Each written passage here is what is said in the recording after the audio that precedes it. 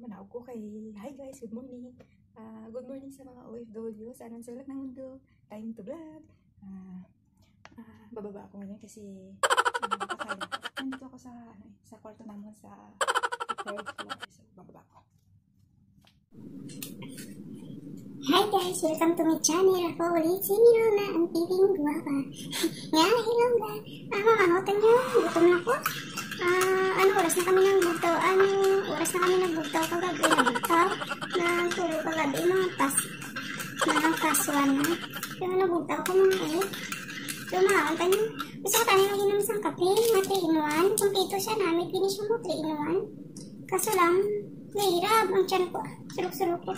Hindi lagi nitang malang ka na. Kaya hirap ang suruk-suruk. Ah, lugugma lang balanin mo. Kung 3 in 1, gani magugma ka mo 3 in 1. Hindi ka mo magugma 3 in 1 na complete package.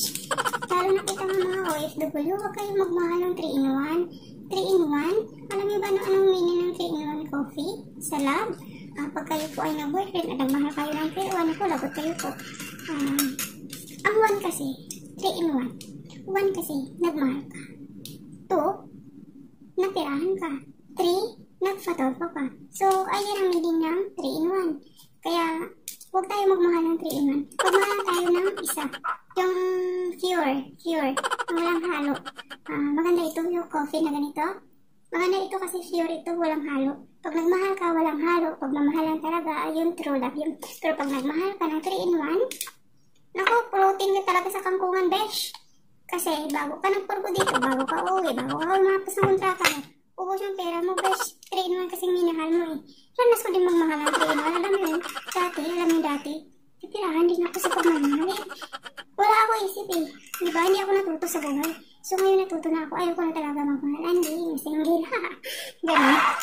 Ah, ganun, mas maigi yung mag-enjoy ka sa life mo. Habang nag-i-invest ka, bo, ka po, ah, mas maigi yung single ka.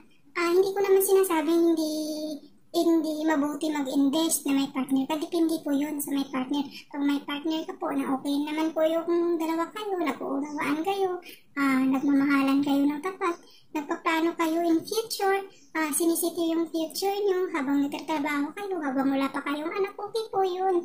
Hindi ko nilalahat ha, baka ibabash nyo ako dahil sinabi ko huwag kayong mag-boyfriend, mag-boyfriend, boyfriend, boyfriend na yan habang nandito kayo sa abroad. Hindi po yun, ganun ang ibig kong sabihin. Yung huwag kayong magmahal ng 3 in 1 po kasi yung 3 in 1 po, nagmahal, napirahan at nagfatol po.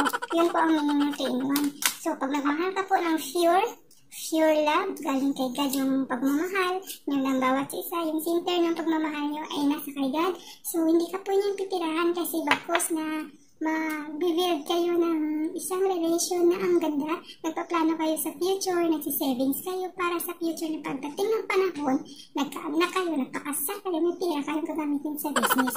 Yan ang pong ipagdadadagal ko. Mas marami talaga akong kita na nagpapatawag kay Sir Rafi Tulfo. Kawawa yung si Marakala mo nabiktima ng taking picture ah. Yung, yung ano, yung babae. Nako, hindi pala totoong babae, gumagamit lang siya ng picture. Ay yung Sema naman, sa sawawang Sema na pumusik sa, sa gitna ng dagat. Natirahan, ang laki ng pera. Ang kinuha lang niya naman laki ng Sema niya sahod. Tama na pag-international yun. Natirahan sa kawawang Sema ko.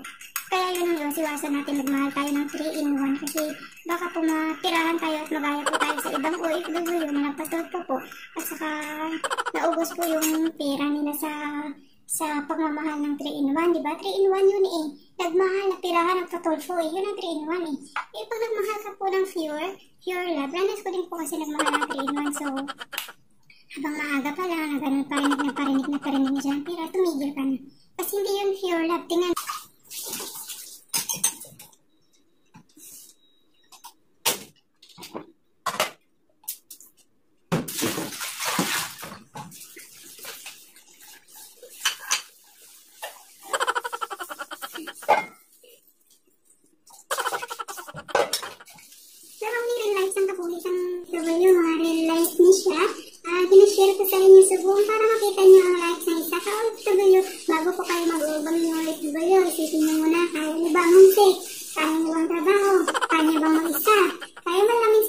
tissue ba?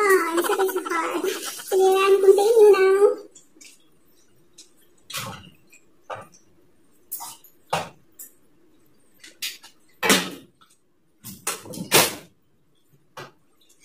Para makakita kita sa kwarta, kailangan ka ng sakripisyo.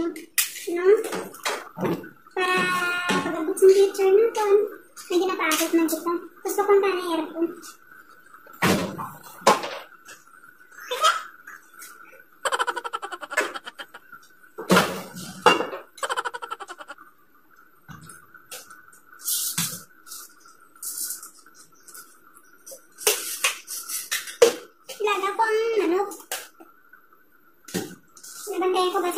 Sinungsilod ang ako niya? Bala!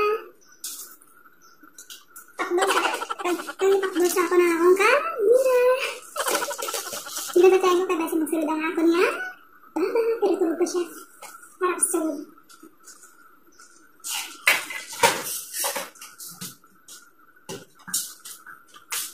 Nalaga ko man. Kasi ako na magluto para ko. So, ang pamilya ng cookie at ang like to be sabod. So, um, thank you Lord sa may investment ako. Hindi na sayang yung pagod ko. Ang daming sangkap. Ang, ang mga luto dito, ang daming sangkap. Marami kong ilalagay. Kung ano-anong nilalagay ng mga spices para maging malasa yung pagkain so ngayon nilalaga ko na po ang manok.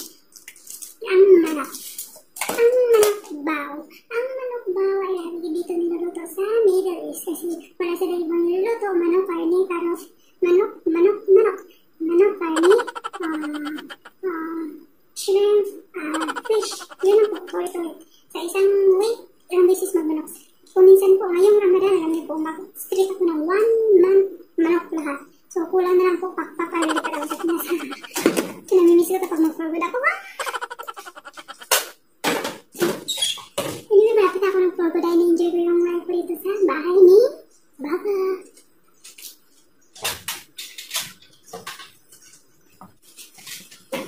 May target, may target, may target. Ah, 2006 pa po ako umuwi, 2006, ano eh, 2016 December. So, bumalik ako dito 2017, ah, 2017 February. So, ang tinang hindi pa po ako umuwi kasi straight ako na. Ha? Straight po ang ako ng kontrata, kaya para diretso na. Ah, plan ako ng Forward Avalanches next year. So, ni-enjoy ko ang akin na student visa balay ni Baba. Hindi lang ako kasi inspired ako sa lahat ng ginagawa ko sa buhay. Hi, Beshi. Hello. Hello. Hello sa mga brothers. Ang tagot mga subscriber niya. Hello.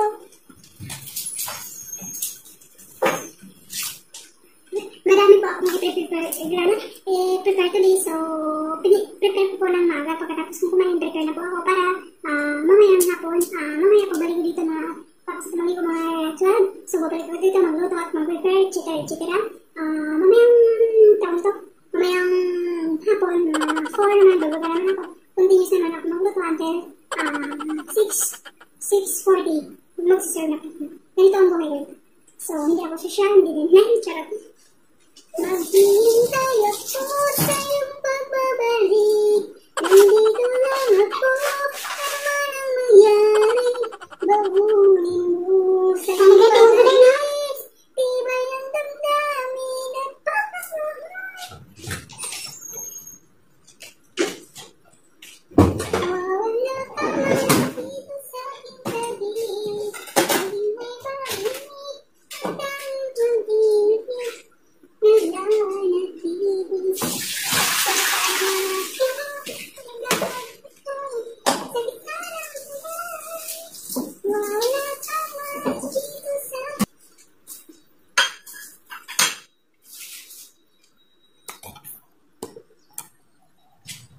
So, subong din prepare ko ang mga lutuan ko para karon uh, dahil pa ko rugas sa dito banta, gibabad ko ano kay binabad ko muna kasi matigas pa siya kagabi yung kinainan ng alaga ko. So, ah may mga tira pa kagabi na prito-prito.